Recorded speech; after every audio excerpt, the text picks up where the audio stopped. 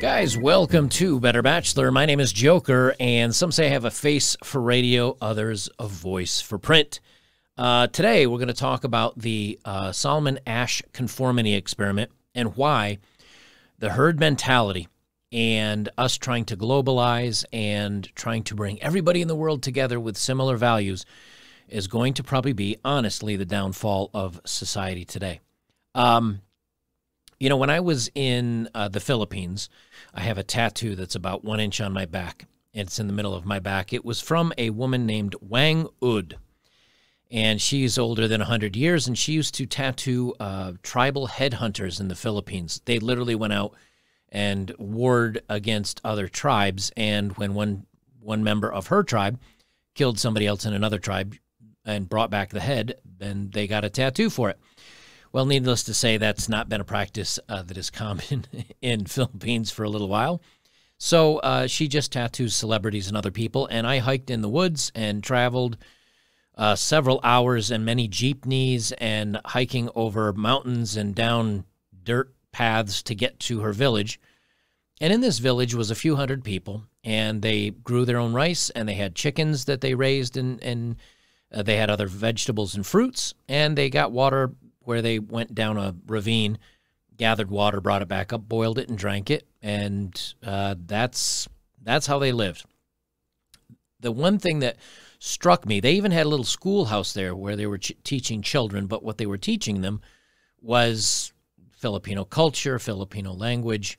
And what really struck me with this is everybody was so happy. Everybody got al- along very well. They they acted like more than neighbors. They acted like a big family and I don't remember the research, but somewhere it said that humans can really only care about 150 people at all. Like you can only really remember and have emotional attachment to about 150 people because that's how we were designed. So now when we try to globalize everything and we try to get everyone to care about everything and every problem that every person and every culture, you end up basically becoming very apathetic. Like you just can't care about that much. And and I know this is true because you see video of somebody getting beaten up and and hurt uh, online, and you go, man, that's awful. That really sucks. Moving on. Even if you want to care, even if you should care, the only time it really strikes home for some people if if is it's an elderly person, if it's an animal like a puppy or a kitten or a child because that's a universal inbred thing of we we need to look out for those of the of those that cannot look out for themselves. But when it's another dude and it's a fist fight and you see a guy get KO'd and falls face first and it's a meme and everybody's like laughing and joking and pointing. Um, these are two people that just got in a physical confrontation and one of them got knocked out cold. Um, you should and and maybe even hurt himself seriously, you know, ends up face planting or something and breaking a nose or whatever. We now find find humor in this, where if you were in a smaller community, where when if you were with a group of people that actually cared about each other, not only would you want to not have them fight, but you'd want to try to resolve the issue and find out what's going on.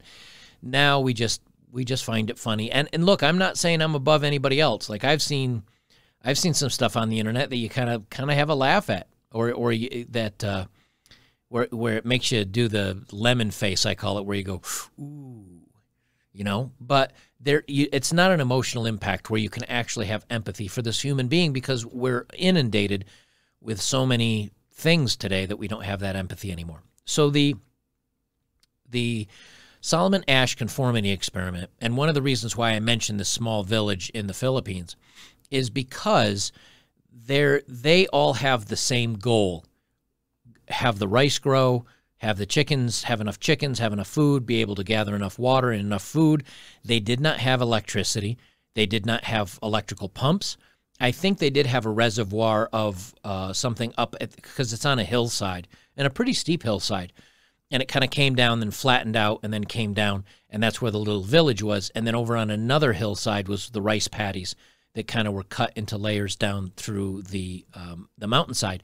And what I think they did is they had a, a water reservoir, or something that caught water, and they could, uh, they did have a couple of PVC pipes that came down that they could open up. And they did have concrete and some other things, but I mean, It was not by any means a, a modernized uh, village, but they all had the same goal of like loving each other, getting along very well, surviving, eating, having food, uh, teaching their young ones about their culture, and and hunting, and that was kind of it. And and it's very much going back to basics, but they all had the very same similar long-term goal. Well, if you ask people today what their long-term goal is, it's different for everyone around the world. If you were to talk to many in other cultures, uh, their goals would be like to survive, to make enough, uh, to make enough money to have food, water, a roof over my head, and and I and I can say that firsthand. I've seen those type of villages and cities, whether it was in Egypt, whether it was in Thailand, whether it was in Southeast Asia, almost anywhere. Um, and then you go to, to something like Japan, and they're very modernized like we are. But if you ask someone that's maybe Japanese, like, what is your long term goal? It's probably going to be a lot different than than an American, which is different from, you know, a, a rural town German and different from someone living in the sub-Sahara of Africa. So, by trying to bring everybody together, you end up getting this mishmash of uh, PC culture and politically correct, and everybody needs to have, you need to respect the rights of every other human being, even if your long term goals are vastly different, even if your culture, your religion, uh, the way that you look at the world is different. You, you need to respect that. And, and that's not going to work in the long time or in the long term. And I'm going to tell you why, because we're going to read today from uh, this is from Simply Psychology. I'm just going to read the, the intro to this, and then I have the uh, Wikipedia page. Now, if it comes to anything political um, or cultural, uh, Wikipedia is not a good source. But for something like this, it seems to be uh, pretty valid. And I came across this article, and what it is is Solomon, uh, Solomon Asch conducted an experiment to investigate the extent to which social pressures from a majority group could affect a person to conform. He believed the main problem with uh, Sherif's 1935 conformity experiment was that there was no correct answer to the ambiguous autokinetic experiment. How could we be sure that a person conformed when there was no correct answer? So the the kind of the idea of this is if I'm in a room and you ask me questions that seem to be relatively obvious, um, and I, I would give an answer, and it would be usually correct. But when you're surrounded by other people and they all give the wrong answer, would that change my correct answer to a wrong answer to fit in with the group?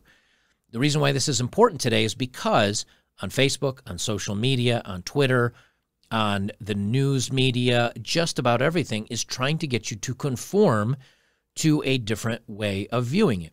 And a good example of this is of the uh, LGBTQ community they have put a very big campaign forward that says not only did we we want the same rights as everyone to get married, which I'm fine with because they can suffer like everybody else, as I say often, uh, but we also want to teach this to kids. We want drag time story hour. We want to be able to go into schools. And if you say that biologically a male cannot biologically become a female and a female cannot biologically become a male, well, then you're going to be, that's considered now hateful speech, and that's going to be removed from social media. Well, to people that are, I would say, biologists, or people of the religious community, almost any religious community, and many of us that have uh, a couple of atoms to rub to, together in our brain, uh, you can say that's not actually accurate. It's, you know, the world does not work like that, and because of that, um, a lot of a lot of creators and a lot of people are being silenced. My argument is always the fact of you know next to me here I have a dog. Um, when he was a puppy, they they fixed them, and so he cannot procreate.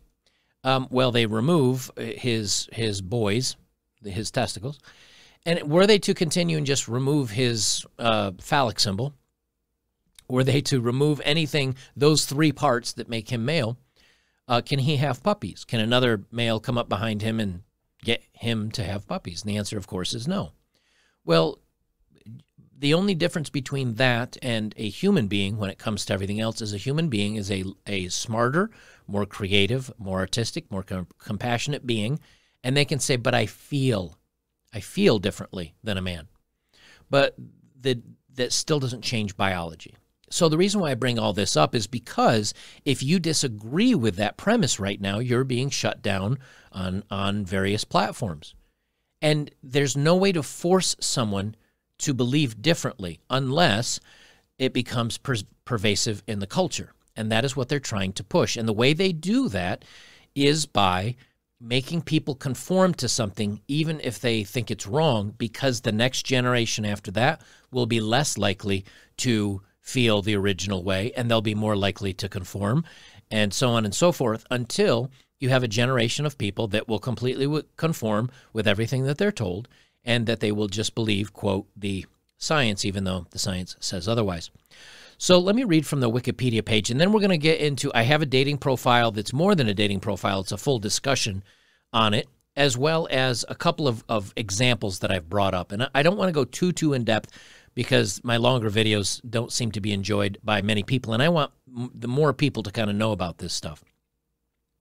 So, the Asch conformity experiments from Wikipedia in psychology, Asch conformity experiments, or the Asch paradigm, were a series of studies directed by Solomon Asch studying if and how individuals yielded or defied a, ma- a majority group and the effect of such influences on beliefs and opinions.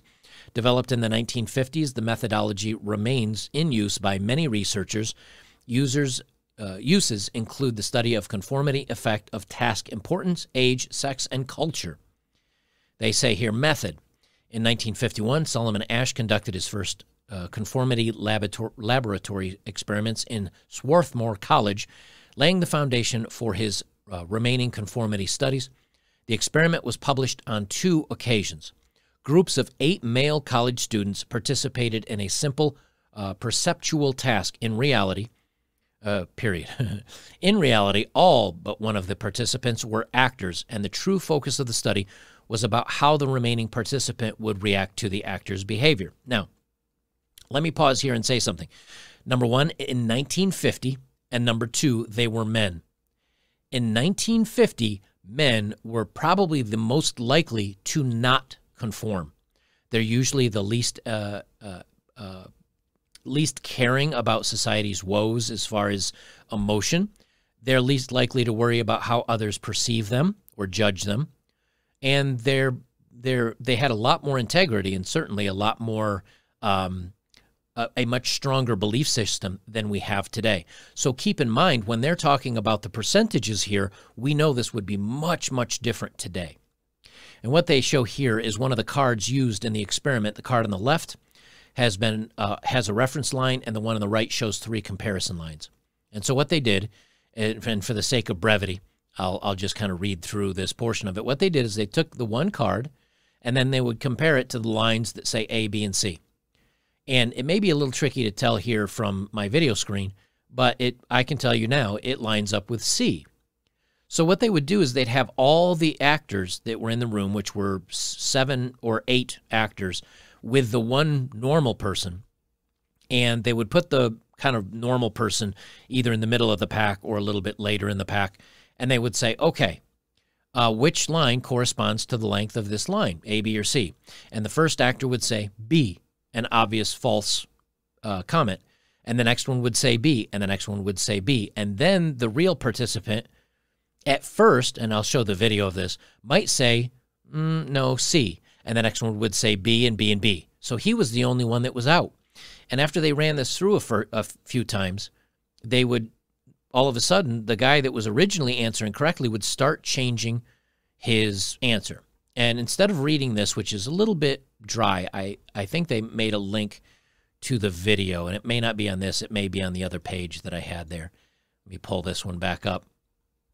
But yeah, here's the procedure. They have it drawn out. They have a, a, several stooges, and then Solomon Asch would give the experiment, and then an innocent participant.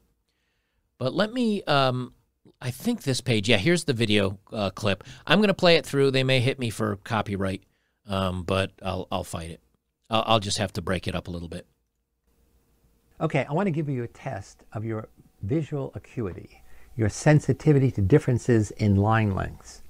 So I'm going to show you a standard, and then I'm going to show you three comparison lines.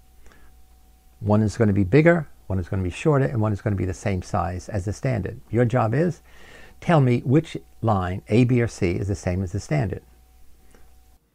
And I'm just going to pause it here just so you guys can see here. And again, this breaks it up for YouTube because YouTube is what it is. But again, uh, you can kind of see they have the graphic here that popped down for YouTube, but you can see that it lines up with line B.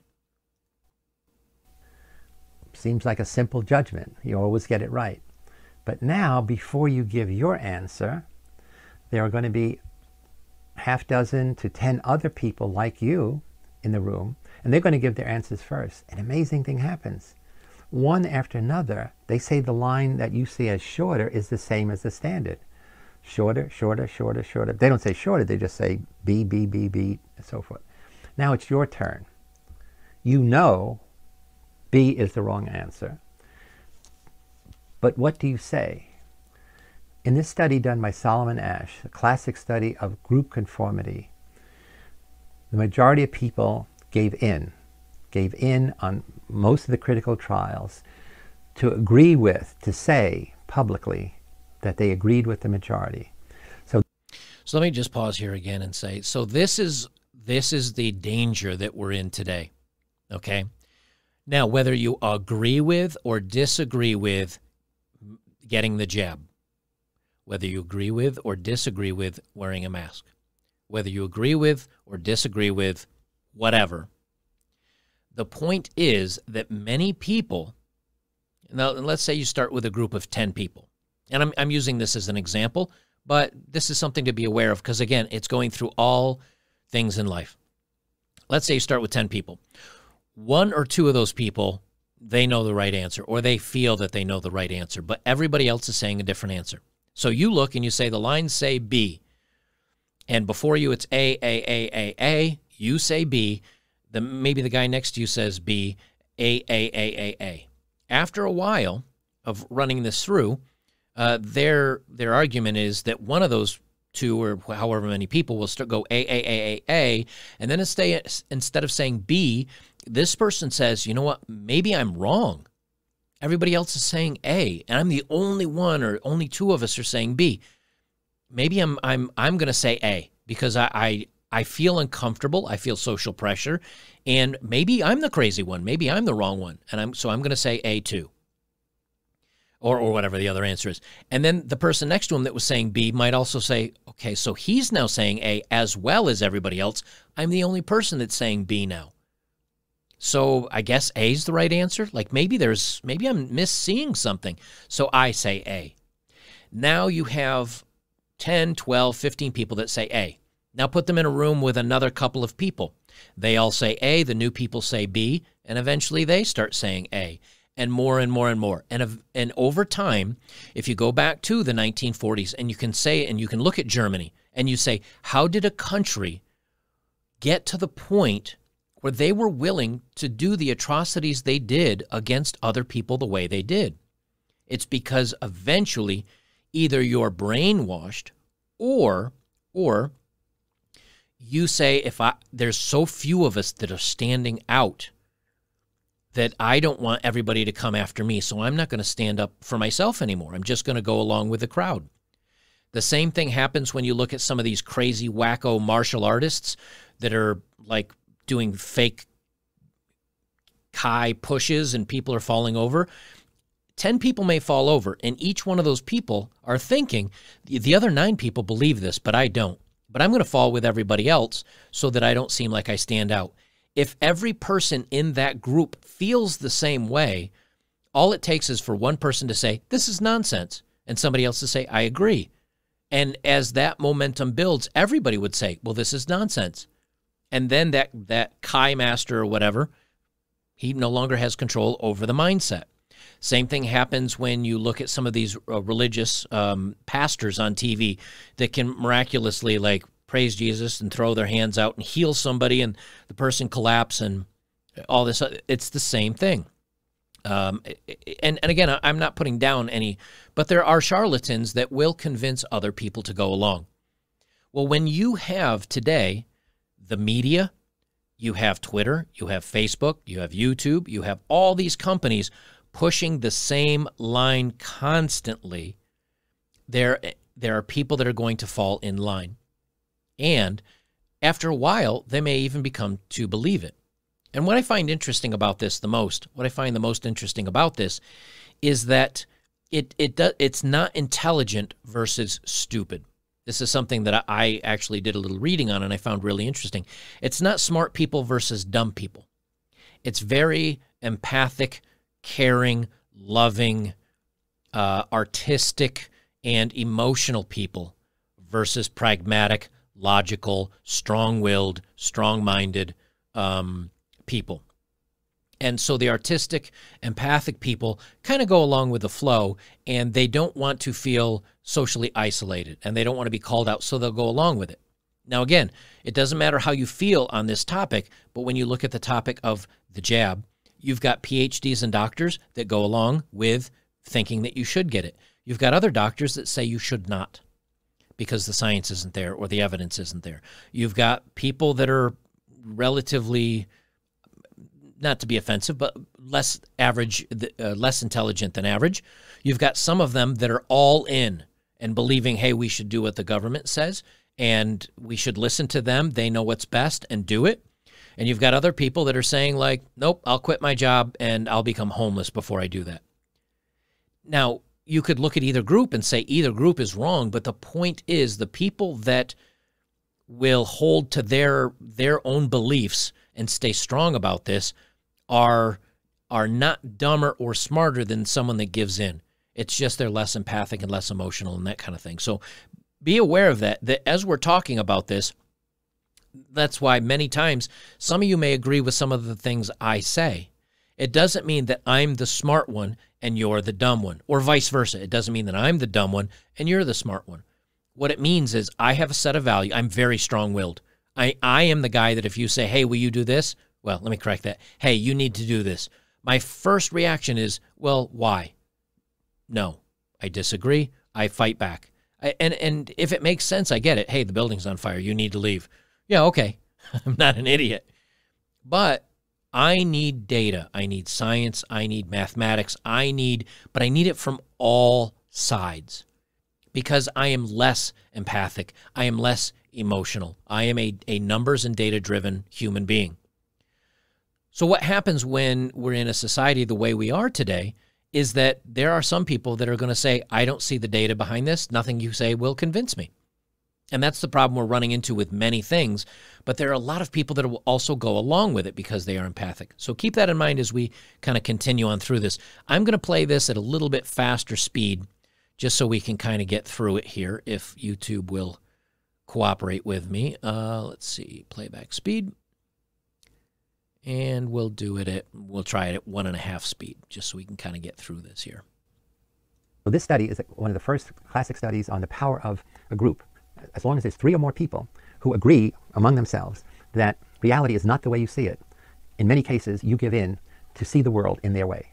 Let's look at that study. The experiment you'll be taking part in today involves the perception of lengths of lines as you can see here, I have a number of cards, and on each card there are several lines. Your task is a very simple one. You're to look at the line on the left and determine which of the three lines on the right is equal to it in length. All right, we'll proceed in this order. You'll give your answer. Only one of the people in the group is a real subject, the fifth person with a white T-shirt. The others are confederates of the experimenter and have been told to give wrong answers on some of the trials. The experiment begins uneventfully as subjects give their judgments. Two, two, two, two, two, three, three, three, three, three. But on the third trial, something happens. Two. Two. Two. Two. Uh, two. The subject denies the evidence of his own eyes and yields to group influence. One. Asch found subjects went along with the group on 37% of the critical trials. But he found through interviews that they went along with the group for different reasons. One. One. They must be right. There are four of them and one of me. Uh, one. This subject's yielding is based on a distortion of his judgment. He genuinely believes that the group is correct. One. One. One. Two. One. Two. Two. Two. I know they're wrong, but why should I make waves? Two. In this case, the subject knows he is right, but goes along to avoid the discomfort of disagreeing Two. with the group. Here, the distortion is at the level of his response. Two. Two. Two. Two. In the previous experiment, the naive subject stood alone against the group. In this variation, Asch gave the naive subject a partner, here seated in the third position, who also gives the correct response. One. One. Two. One. Um, Two. With a partner, yielding drops to only 5% of the critical trials compared to 37% without a partner. Although subjects report warmth and good feeling toward the partner, they typically deny that he played a role in their own independence. The partnership variation shows that much of the power of the group came not merely from its numbers, but from the unanimity of its opposition. When that unanimity is punctured, the group's power is greatly reduced. Sometimes we go along with a group because what they say convinces us they are right. This is called informational conformity. Let me pause it here for a second and say this. So, you here, all it takes is one other person in the group to break up the the one person's uh, thinking that he's wrong. So if out of this group, I don't know how many was it, eight or whatever it is, in the group of eight, if only one person had a different opinion, he would 37% of the time they would change their mind and become one of the group. Some say they did it because they didn't want to feel uh, ostracized or alone in their decisions. And uh, other people uh, went along because they said, "Well, I, I I know I'm right, but maybe my perception is off and everybody else is going, so it must be me. That like there, maybe there's something wrong with me. Well, again, these are students in the 1950s, all male. Uh, you can't probably look for a more uh, rebellious, strong-willed group of people. But were you to sprinkle in the groupthink and women and very empathic women into this today, especially today, and weaker guys. And when I say weaker, I don't mean uh, phys- physically or anything like that. I mean weaker as far as logic versus emotion. They're weaker logically, but they're motion, more emotional. Were you to mix these people into the group, um, before you know it, they would all conform, and they would either be conf- all, and and I think it'd be much higher than thirty seven percent. Is my point, because if it be, if it becomes over fifty percent, then you've actually you've got a, a an R value that is higher than R naught, right? It's a growing perception. So 50% of people are walking around saying this, well, then it may eventually become 55 and then 60 and then 65 and that will continue to grow. That's how only 10% or 15% of a population that can be very vocal can overcome the senses and the logic of an entire culture. I mean, if you look at many of the movements that we have today, the, the people that start them or are in them or are uh, and kind of initiating them are 10 or 15% of the population. But they scream, they holler, they fight, and they can convince others that they're right and they believe that they're in the right. And that will grow and that will continue to grow until it becomes the popular. And once it's the popular, whether you're in a democratic or a representative government, it takes over. And it's very hard for people to get out of this groupthink because you you have to be an individual. You have to stand up for your beliefs and what your eyes and your logic and everything is telling you and at the same time not caring what society thinks about you. This is why many of us are here on these channels because they say, "Look, you're saying these things to me. I know different, and I don't care what you think. I know what I believe and I know what I've experienced and I know what I know and I'm going to talk about it. And you've you've seen even with many men's channels, they try to shut that down. Why? Because the more people that stand up and they say, "Hey, this is not right. I still disagree." It gives strength to other people that don't agree. But th- once they start tamping that down and they start tamping down the disagreeers, then more people will just go along because they don't want to be ostracized or uh, ostracized or stand out from the community. So it when and I specifically talk about that here because 37% when it was just one person versus 5% when the person had a and a, somebody else that agreed with them. That's why we talk about the stuff we do. That's why we put out the videos we do. That's why we continue to push back against this society. Now, What's interesting is when it comes to politics, both people on both sides of the quote unquote aisle believe they are correct. And what and and it can go both ways too. Again, it's not smart and dumb versus smart and dumb or whatever.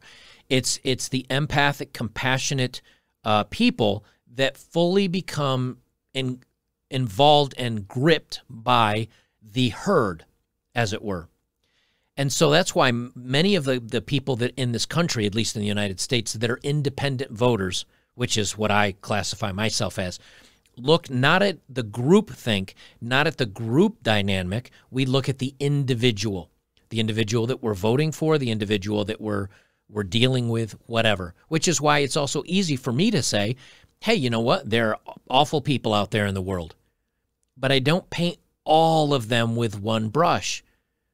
Whether it's it's two different races or minorities or you know, two black people versus two Latino versus two versus two white people versus two Asian people versus two women versus two men.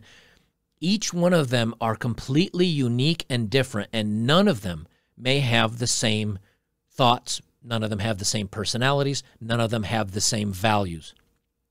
But what happens in a society is when they start taking these brushes and painting everybody in these groups as the same, that they do it from empathy and care and we want to help these people and we want to make sure but they assume all people are the same which is why you can hear some people say you know what oprah winfrey is a, a black woman and she is um, the patriarchy holds minorities down or, or black people down well she's a billionaire what about the white guy that's homeless or vice versa or vice versa this could go either way right?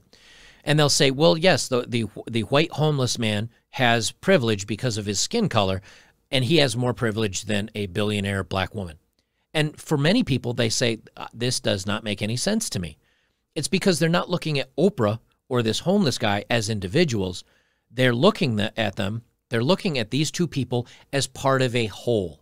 He's white man, he's part of the white man group, thus he has privilege over black people. And black people, even though it's Oprah and she's a woman and she's a billionaire, she's part of this other group. And that's why this group has control over this group. The minute you've done this, as you can see, you're, you're going to get a very strong and permanent bifurcation of society because there are people like me that will not conform.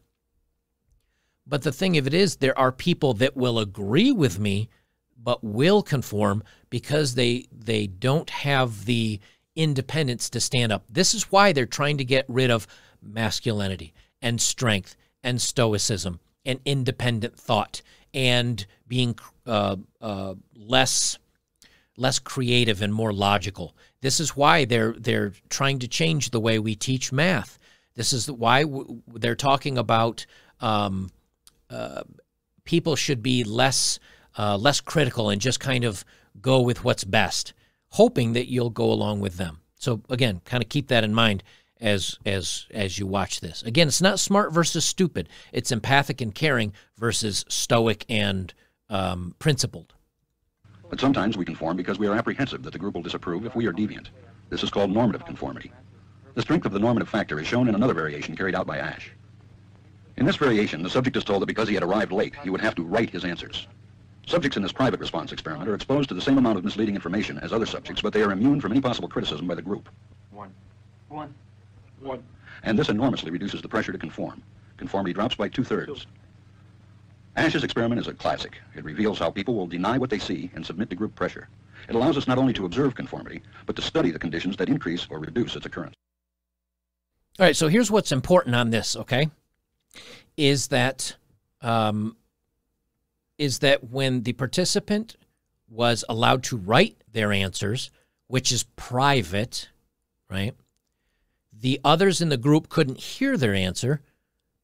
They they went along with their gut feelings most of the time. And because they weren't being judged by others. So now let's let's fast forward this to where we are today. Social media. Everything is on social media. You want to discuss something? It's usually Twitter, YouTube, Instagram, Facebook. They are the social media where we all communicate. And we're going global. So it's very important that we communicate with everyone throughout the world.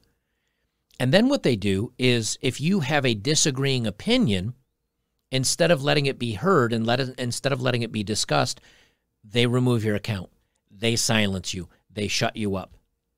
And what that's doing is exactly like they're doing here, where they're making uh, they're making only one voice the incorrect answer in some cases, but I, I'm I'm kind of giving you a parallel here. I'm not saying it is an incorrect answer. I'm saying you're only getting to hear the answer they want.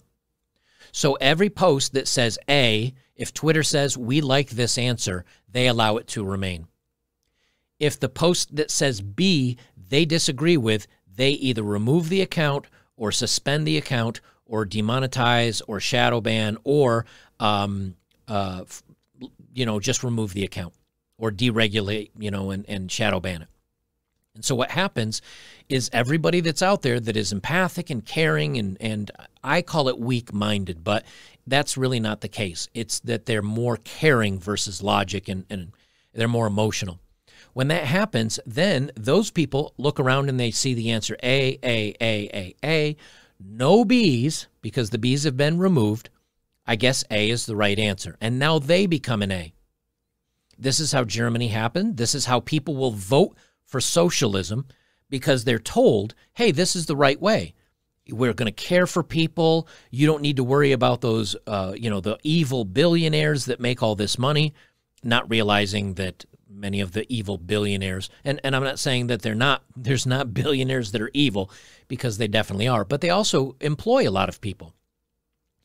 And so you end up getting the government deciding which answer you can hear, and that's the only answer you can hear. And it'll go so far as uh, you look at the, the struggle sessions that they had in China, that if you disagree, you're publicly shamed, you're publicly hurt, you're publicly ended. Then the only answer you can say is A, what the state wants you to say. And again, it doesn't mean that you're stupid. It means at, at first, at first, it's because you say, I want to get along and I don't want to stand out. Or maybe I'm wrong. And so I'll go along with a group. But then there's going to be something that you agree with that you see silenced and removed. And you're going to say, uh oh, something's wrong. But now so many people are going along with it. Even if 80% of the people don't think it's the right answer, they'll say it's the right answer because they feel like they're the only one that feels that way. That's how the, the socialists and communism and all of this controls everything is at first they make you afraid to stand out and afraid to speak out. The next step after that is they arrest you for speaking out and for standing up. And if that doesn't work, the next step is to make you disappear so you can't talk anymore about the way you feel. And and it's forced conformity. And in the end, you end up with something like North, North Korea, where you must at all times uh, bow to Kim Jong il and the family. Because if you, and they're starving to death. They are starving to death. They need shipments of food to come in and support North Korea. And if that food stops coming in, a vast majority of them would starve. But they still would rather say, I love it here. Everything is great. Everything is fine and slowly starve to death because they feel everybody else feels the same way. Because if they all stood up at once and they all fought back, yes, there would be quite a few casualties for sure. But they could probably overthrow the government. But they can't because they can't unionize. They can't get together. They can't get together as a group. And so everybody feels like, I guess I'm the only one that knows the truth, but I can't speak out because I'll get ended or I'll get hurt. So for those of you out there that come to channels, whether it's like mine or or anything else, and you you want to say I'm wrong or that this group is wrong or this group is wrong or this group's evil or that group's evil. That's not the way to view this. And it's not to look at the other side is stupid, no matter where you fall. The way to look at this is the the people that are all in and are very passionate about this and are very strong in, they're not dumber, they're not smarter. They just think with their hearts and their emotion and their empathy and their and they're more artistic and they're more in in that type of personality than someone that is hard-minded, logical, stoic, and set in what I believe I feel is right is what I feel is right. And I, will I'll give you a good example. Um, the other day, Myron Gaines, I did a video on Fresh and Fit where I said I disagree with how they handled everything that was going on. And Myron Gaines still had my number, uh, Instagram account, because that's how we communicated so I could go to their show. And he contacted me and he said, Hey, man, I want to tell you what's going on. I want to explain my side of things. And because I, I don't care for the video that you did about us, you know, I think it was kind of harsh. Like you should have reached out and talked to me first. And I said, That's fair enough. But I like these uh, uh, discussions to be out in the open so everybody can see the discussion so they can understand both sides of it because I think that's important. And so we talked for, I don't know, maybe 20 or 30 minutes. And at the end of it, my mind hadn't changed. I still don't like the way that they went about it. His mind didn't change. He still feels that that was the best course of action for them. Um, and he says he does have legal precedence behind it. And we shook hands and we said, okay, man, well, hey, you know what? Uh, we'll agree to disagree on this one, but hey, keep up the good work and, and good luck to you. Civil. Why? Because I, he's not going to convince me. I'm not going to convince him. But we know that. It was just a discussion to make our points heard. And I respect Myron for that, no matter what you think about him. It's also one of the reasons why I, I won't call them out a bunch of names and say a bunch of stuff about them, um, because while I may disagree, um, there are many takes to the world. Well, the same thing if you take a very empathic, emotional, whatever, Tory, Labor, um, uh, Democrat, Republican, and you say, um, okay, well, I'm in the right, you're in the wrong, and you're evil and you're awful, and we should get rid of people like you. There's people on both sides that say that, but it is a, a small percentage. What happens is that percentage starts to grow. And there's people that are kind of feel like they're in the middle, like me, where I say, that's too extreme, that's too extreme. I, I like to pick and choose, and I like to think my own way through this, which is the independence probably in the United States. Not saying all conservatives or all Democrats are like hardcore this way or that way. I'm not saying that. Um, I'm saying some of them can be, but many more people, as they see this, they're going to say, "Hey, you know what? I'm I I don't really align with anybody here. I'm just going to make the best choices for me in the world." But if they can silence people that speak out against either the quote party or against feminism or against uh, uh, BLM or against or for or whatever, they can get their narrative pushed through and people start falling in line. And with social media controlling that, this is going to happen more and more. This is the danger. This is why, if you feel passionately about something, you have to be able to speak about it and express yourself without hate for the other side. Because the minute you come through with hate for the other side, they're immediately going to hate you. And they may hate you anyway. But that's why the logical reasoning has to has to come through. But with social media shutting it down, you're going to have a harder time with that. That's why if you look at here, Facebook admits the truth. The fact checks are really just opinion. Now they say lefty opinion. Um, we know that social media has an agenda all of the social media has an agenda and they're sticking to it. But on many posts that either conservatives or independents or people that are anti anti jab, anti mask, whatever, when they put an opinion out, it's silenced immediately. And and what they have been doing is they say they're using fact checks and fact check faults, fact checks disinformation, fact check this, fact check that to be able to justify their removing of a dissenting voice.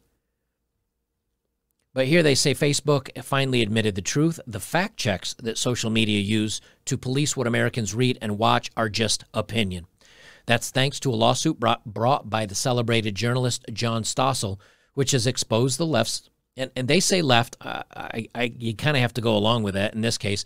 Supposed battle against misinformation as a farce. Stossel posted a pair of videos that touched the third rail of liberal politics, climate change.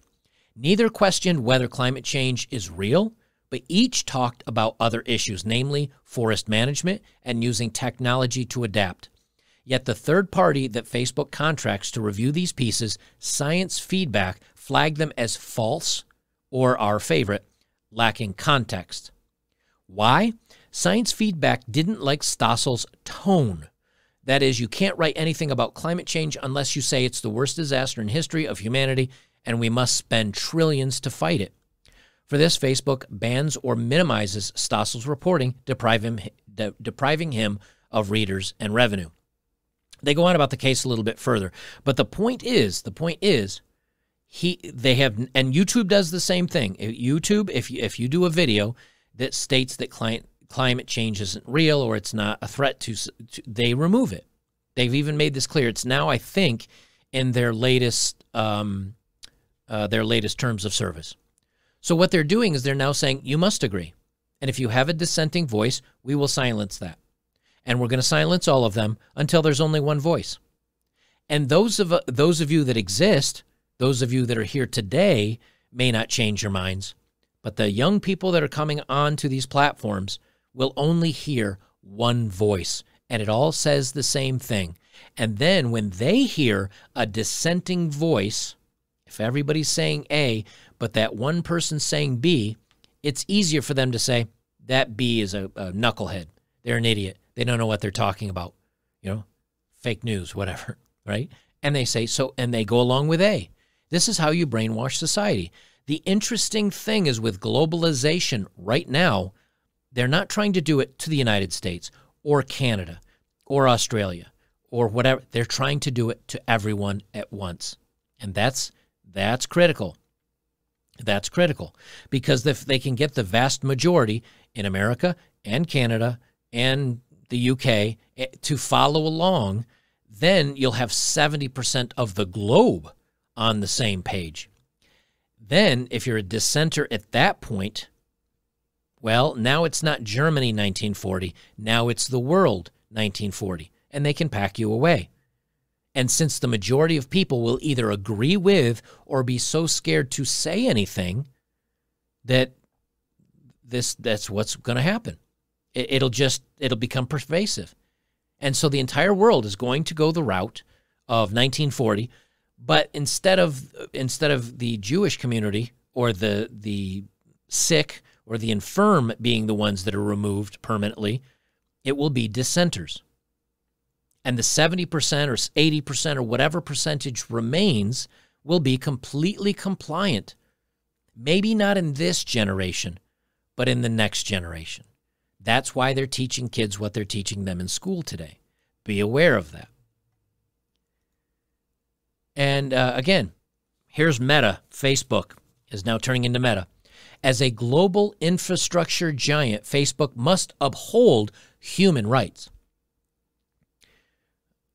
They say um, Facebook, its new corporate name, Meta, has always, and this is from uh, the conversation here, okay, has always wanted to get to know you. Its public goal has ostensibly been to connect people. It's been wildly successful in doing so by building out what can only be called everyday infrastructure around the world. There are 3.5 billion people worldwide using Facebook's suite of products, which includes Messenger, Instagram, WhatsApp. As the infrastructure provider, uh, Facebook knows a lot about who its users are and what they do. Now, think about this. Think about what they're trying to do. If you want to meet up with friends, don't meet up at a coffee house. Don't meet up in the real world. Meet up on Meta where they can control what's being said. If you're going to have a workplace meeting, well, you can't meet in a boardroom anymore. You can't meet up in a group anymore because of the bug. So now you have to meet up online. If you have to meet up online, use Meta. You can digitally sit around a table. But if they find out that a company, a person, a group is speaking back against the narrative that they want to put out there, they can remove said company from its services, said person from it. And that's the social pressure conform or be pushed out. And that becomes conform or be arrested, conformed and be isolated, conform or die. This is what is being pushed through, people keep focusing on the minors. Oh, Republicans versus Democrats. Oh, jabbed versus not jabbed. Oh, masked versus not masked. Globalist versus nationalist. That's not where it's going. They're trying to control the voice of society to where a larger group of people feel that they're in the right or they're scared to speak out against. And that's it. That's the end goal. And once that happens, it is very hard for the 10 or 15 or 20% to fight back against the 80% because there's false flags.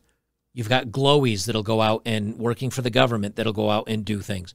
I mean, and if you don't think it doesn't happen, don't think that if a small uprising of people, okay, that want to speak back against the common narrative, don't think that the government wouldn't make a small group of fake uh, counter protesters go out and destroy a bunch of stuff. The media focuses on it and they shut everything down. Because on, on January 6th, Trump protesters went and broke in the Capitol. No one was ended except one woman, Ashli Babbitt, or I think it was Ashli, was it Babbitt? I forget her name. Uh, maybe I'm thinking of the wrong name. But anyway, a woman was ended by a police officer, but the civilians didn't go in with with any guns or any weapons uh, other than you know sticks and flagpoles and stuff like that. But it's been on the news for the last year. Back in 2019, President Trump had to go to the safety room in the White House because the protesters that were uh, uh, I don't know if they were uh, BLM or or for the Democrat side or whatever. They were protesting and were attacking the White House fence line and were throwing, you know, uh, materials and things like that. And the news stated that Trump was being a baby because he had to go hide in his uh, uh, defense room for just some protesters. But if you look at both incidents, they were both very similar. Was there a council to study down on, on those incidents? No. Was it talked about years or months or even weeks later after it happened in the news? No. I'm not saying either was right or wrong. I'm not taking a side on that. My point is there's only one narrative that keeps getting talked about, which is why so many people that fight back against it and don't like one side or the other side, they feel they know what's going on because they only listen to a set set of voices. And that's the danger is that as we have two sets of voices amping up both sides, and again, it could be any side of anything, there's going to be a clash. What they're hoping to do is avoid the clash by getting one side much stronger than the other side. And then the instead of 50% versus 50%, then if it's 80 versus 20, they can they can mark the 20% as dangerous, infected, stupid, uh, malconformists, malintent, the dangerous ones. We need to get rid of them. There's already people talking on Twitter right now that have said, hey, you know what? People that refuse the jab, they shouldn't get hospital treatment. They should just be left to die.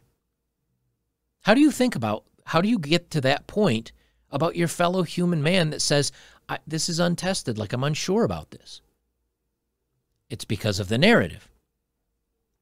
Let me talk about uh, this. Will be very, very quick. Okay. Um. So this is a story. I wasn't going to talk about the whole story, but this is uh, swipe not right. Dating apps killed casual um, sex. It was so much easier when you could meet men in the supermarket. Says SATC creator. Now, who's SATC? That's Sex in the City creator. They say um, uh, Sex and the City uh, writer Candace Bushnell says having a Mr. Big is not important today. Now, Mr. Big is this guy here, and I guess that's the main character. I don't even know her name. That's the main character's boyfriend. And she was always hoping to find that Mr. Big, the big, awesome, perfect guy. So Candace Bushnell, the creator, says it's not important to have him in your life today. It's not important to have him. This is her. And she says it's about looking after yourself, it's about taking responsibility for yourself. It's about becoming a well rounded person and making your own money. They say, but Candace, 63, who's divorced in her 50s, says being unattached is nothing like it was during the 1990s and uh, the aughts uh, when the show was in its heyday. She says uh, there are plenty of women who want to be taken care of, but that happens less and less now. It's about being responsible for your own life, it's about buying your own shoes. And she says, uh, I think she said somewhere in here about kids, that it's not important to have children. Society pushed that. She says, um, Candace continues, and there's a point to this, so bear with me. I know you guys don't care about the story, but there's a point here. Candace continues, I never wanted kids, even when I was a kid. And in fact, I know many women who don't have children. Not one of them regrets it. They're like me. They're grateful they did not be forced into a lifestyle, a life that isn't right for them. Let's face it, at one point, women had to have children to survive. Those days are gone. In the future, fewer women, given the choice, will have children. quote from her, and this is what I want you to remember quote from her I never wanted kids, even when I was a kid. And in fact, I know many women who didn't. Uh, who don't have children, and not one of them regrets it. She's very clear she never wanted children. She never wanted children, not even since she was a kid, and she doesn't regret it. This is from uh, two, what, two, three days ago, December 14th. Let's go back to this interview from 2019, just two years ago. This is from Candace, same woman. Uh, let me see if I can find the quote. She says, She told the Sunday Times last weekend, when I got divorced and I was in my 50s, I started to see the impact of not having children and of truly, truly being alone. I do see that people with children have an anchor in a way that people who have no kids don't. They say here, admitting to wishing you'd put you'd put having kids above having enormous career success feels like a bit of a diversion from the feminist playbook, a playbook which claims to value motherhood and personal success equally sometimes doesn't follow through on that promise. Now, how did just two years ago she said, you know what? I see uh, women that had kids and they have a grounded and they're happy. I see that now. And she did, uh, in later on, I don't want to read the whole interview. She did say she had regrets not having a family and focusing too much on work. But she was already too old to have kids at this point. This is just two years ago, and now she's 60 something, I think they said. Let me look at that other article. She's 60 something. So her years of, of child, she's 63. So when she gave this interview, she was 61. It was already past her time to have kids. So it's not sour grapes. It's not like she wanted kids then but didn't get a chance to have them and now she's angry. No, she was, when she gave that interview, she was long past fertility years. So what changed? The social pressure. The social pressure of saying it's okay to be a mom. It's okay to want children. It's okay to want to be married. It's okay to let him make money and, and be the masculine one. It's okay. Just in two years, she went to, you know what? I'm happy. I'm glad I didn't do it. I never wanted it. All the women I know, they don't want it either. Push the message, push the message, push the message. Must push the message. Do you think she honestly believes this? No, of course not, because just two years ago she didn't. So either she changed her mind because everybody else says, ah, kids, you don't want kids, or she's conforming. And then someone else that sees her message says, well, all these people say that they're happier without kids, so they must be. But the truth is, maybe they're not. Maybe they're just conforming. Push the message, push the message, push the message. This is why so many times, you know, I say, I can say, hey, you know what? I like some of the things that Trump did. Oh, you right wing stupid Trumper. Nope, nope, nope. You can appreciate a thing on its own without being in the hive mind, without being amongst the collective. So when I say, hey, you know what? I like something that Trump did. I like the fact that Bernie Sanders said some things that I actually agree with. Trump said some things I agree with. And one side will attack me, and the other side will attack me because I've said something that agrees with the other side. Hive mind. And if you find yourself very, very passionate about something, whether it's BLM, LGBTQ, Democrats, Republicans, globalism, climate change, whatever, if you find yourself like, oh, that other side needs to go away, they're evil. They're evil. If you feel like that about anything, you've slipped into the hive mind. The people that disagree with you, they don't think you're evil. They don't think I mean, some of them do. Don't get me wrong. But a lot of people are just like, hey, I got I got to get more data on this. I, I got to see more science on this. I've personally heard about the world ending because of acid rain in the 80s and freezing over in the 70s and no food left by 2000 and you know worldwide flooding by 2013 and now something else. I've heard this for 40 years. And when you see uh, you know I, I can't think of many examples, but I Nancy Pelosi retiring to Florida to buy a beach house. And I don't know of any Republicans. I would certainly use a Republican example if I knew as well. I'm not saying one group is better than the other. I'm just saying, when you see them going down and buying a beach house on the ocean front, do you really think they they think the sea levels are going to rise and the ice caps are going to melt? Why would they buy on oceanfront property if that were the case?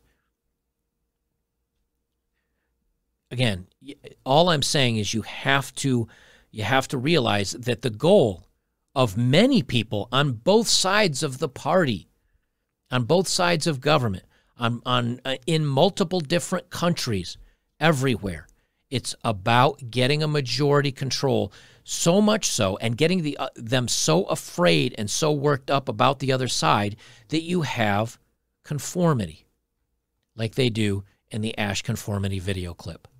Guys, make sure you share this video, please. Get this information out there. And even if people disagree with me, I don't care. Look into it. Look outside of what you're fed every day on the news and on social media. Get off that stuff. Start digging deeper. Start listening to independent voices. Start looking at people that are saying, I'm using logic, I'm using awareness, I'm using my brain versus emotion. Emotion is not what you want to deal with when you're going into bad times, but they want you to. There's nothing that can happen in society today that will make me hate women or hate black people or Latinos. Doesn't matter. If a minority person were to end my mother tomorrow, that's not a whole. I might really hate that one person, no matter what group they belong to, but they're not the group. But that's what they're pushing right now. That is what everyone is trying to push. You must belong to a group. Groupthink. 1984. Read it, study it, learn it. Groupthink. That's what we're pushing for. 1984, you know, it, it's funny, we joke about this, but when you look at the underpinnings of editing the information that you're giving, editing what you're allowed to hear, editing what you're allowed to say,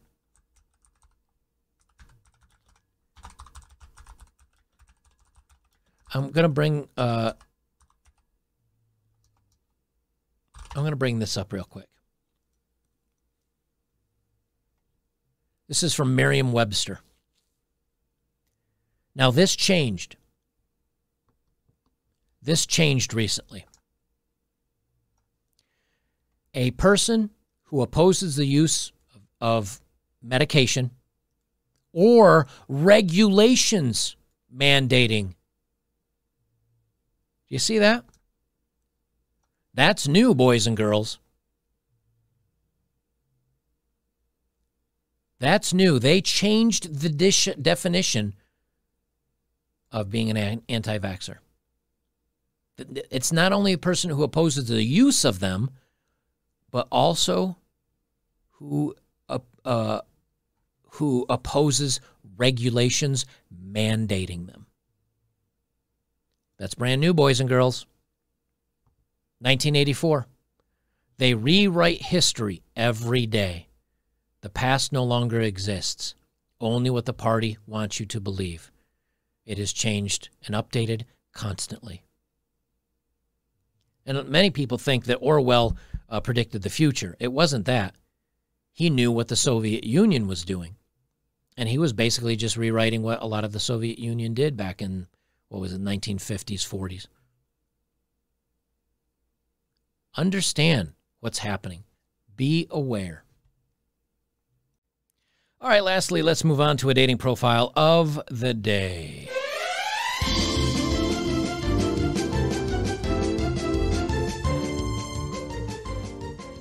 Alrighty, here we have uh, this lovely young lass, self entitled Tinder veteran. This is a story on Cheezburger. I haven't been on Cheezburger in years. Uh, this this gal is a foot model, apparently. She's attractive. Uh, her her username on Tinder is undercover foot model. Please do not go and attack this person. We don't like that. Leave her alone. Be nice, gentlemen. We just do this for entertainment purposes only. She says trying to get a hundred dollar minimum dinner on a first date. That is her. That is the title of this Reddit post, and they post this picture down below.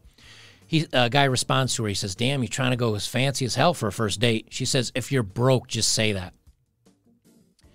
He said, No, I do fine. I'm just in med school. I don't go for that big on first dates. Not my style. I'm sure you will find some guy desperate enough uh, to spend $100 on you for a first date.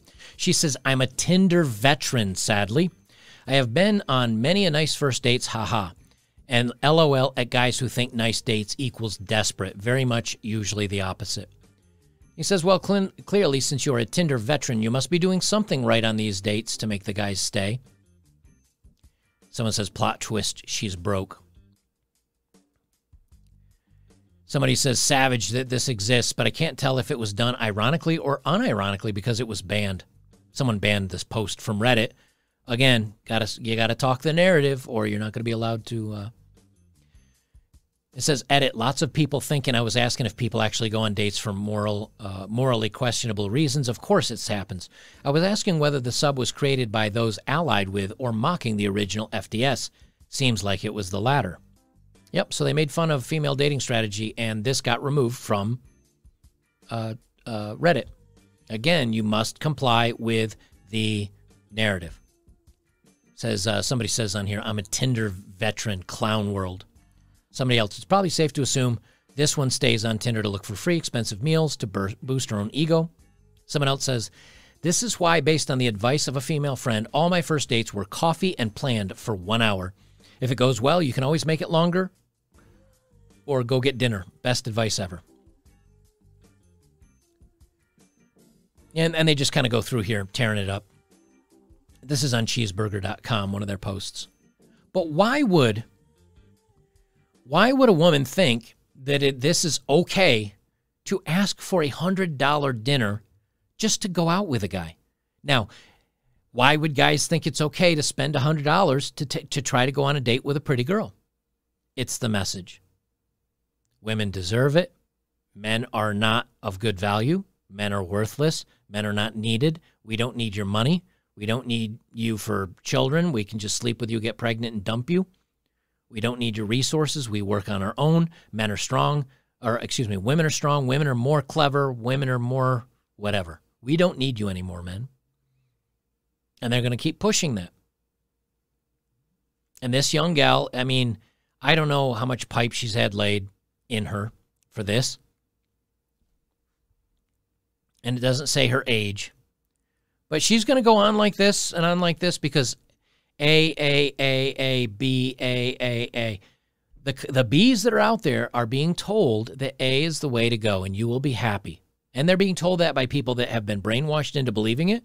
And they've been told that by people that don't agree with it, but think that they're in the wrong.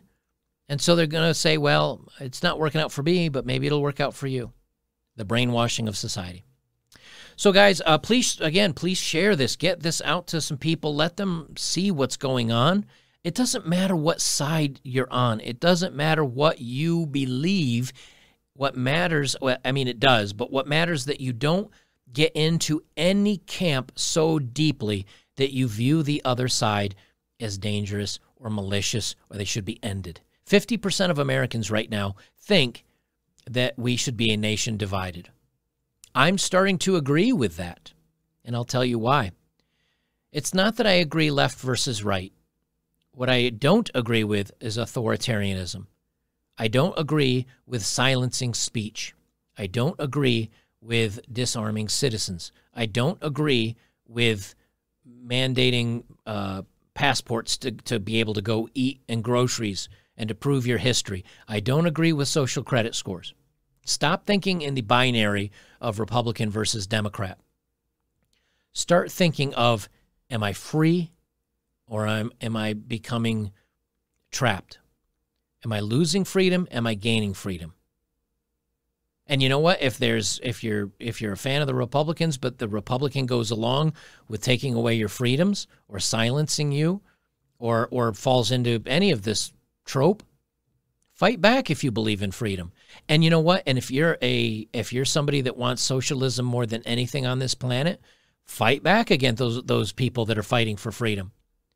But at the end of the day, when it comes down to it, if it's just you and I left, I'm going to fight for my freedom and I won't give up. I'll tell you that much right now. Guys, if you'd like to support my work, uh, links are below as always. Go check out my older videos. Join me over on betterbachelor.locals.com. Um, we just did a movie night where I streamed the 1982 John Carpenter's The Thing. And uh, yeah, like a thousand people have watched it. I get to stream movies over there because it's not YouTube. And I, I talked live over it and made comments and, and had some discussion. We had a really good time. Join me over there as a supporter today. Free speech forums. And that way, if you want to plead for why you think communism is good, go over there and plead your case. Uh, I don't, just don't think it'll turn out too well for you. Guys, we'll see you in the next one, and uh, I'll talk to you real, real soon.